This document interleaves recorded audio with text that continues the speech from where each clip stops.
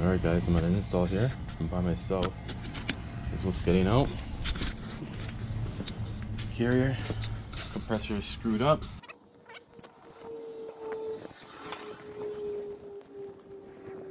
Coleman is going in.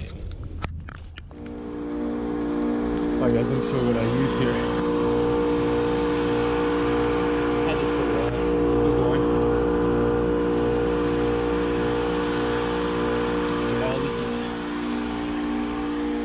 Recovering. And I do the electrical. Start taking this apart. Go inside, take the coil out.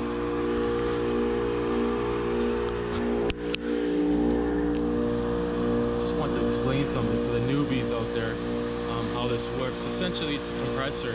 Um, the way to move uh, vapor and liquid is it pumps down, pumps in, so pushes in, and then brings it back liquid.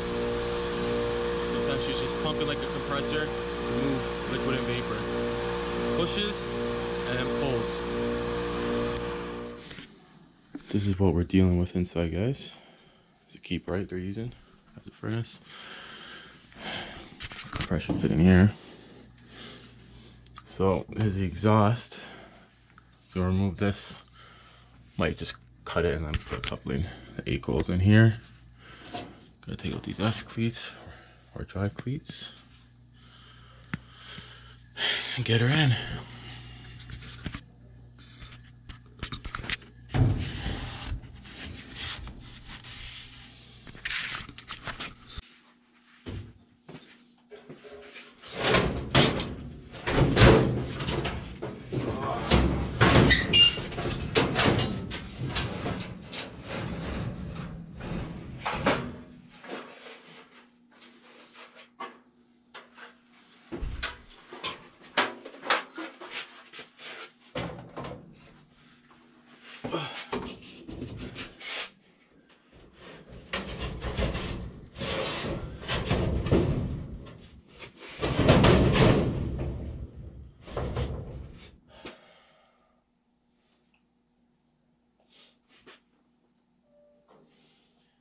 Measure up these.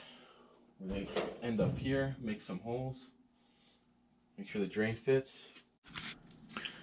All right guys I had to braze these two before I close this panel. It was a little challenging to get it in there after but I managed. Um I installed a filter dryer. Made this nice and straight. I'm gonna braze this up. The nitrogen is on outside. It's flowing. And yeah we'll go from there. Braze this up join this together.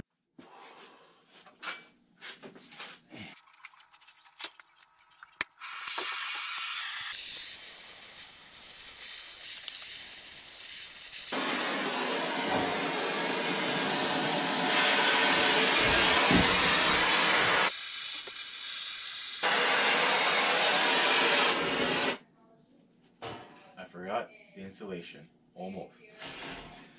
Let me go get the insulation. Braze the one up there first. I have a coupling up there. I'll braze that, slip the insulation on, do the rest. I'll be back.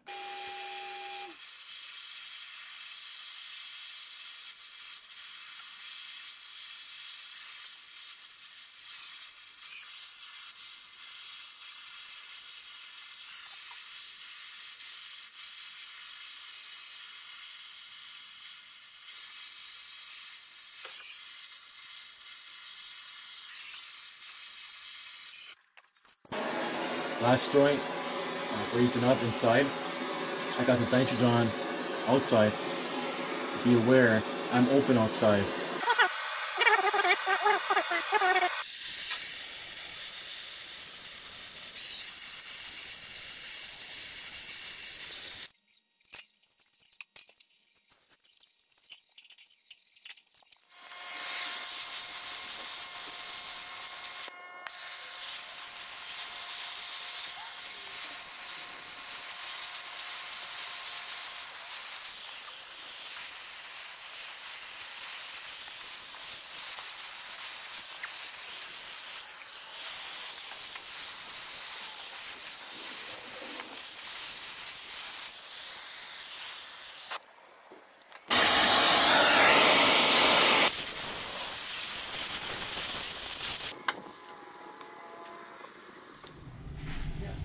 Alright guys, she's under pressure, 150 psi. Turned out pretty well. Turned out pretty nice. I'm gonna do some electrical. And we'll go from there. Alright guys. It's vacuum time. Hold in there. Alright guys. That's how she turned out. Not too bad. Can't complain. Alright guys. Just put this on. See where fluctuates at. It's a fluctuating around 15, but my subcool is kind of low. So see, it's only 72, 75 degrees out here. It's this weather today is a little bogus. So I'm gonna let it run, see what happens, and uh, and go from there. But another job complete. Looks good.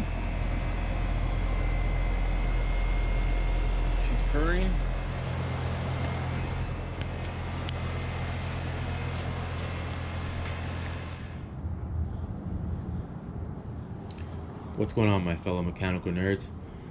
Okay, I recently did that AC change, and I was wondering why that compressor failed. It wasn't the uh, typical short to ground windings or whatnot. So I got my curiosity. I wanted to open this up and see what was up. So I remember the early stages that we were hearing some rattling. And when I opened this up, I realized one of the mounts, the spring mounts, failed. And essentially, this motor is like a car motor in a car. Uh, it's a floating motor. It sits on mounts, engine mounts, and it sits in the casing. So has one, two, three mounts. One of them failed.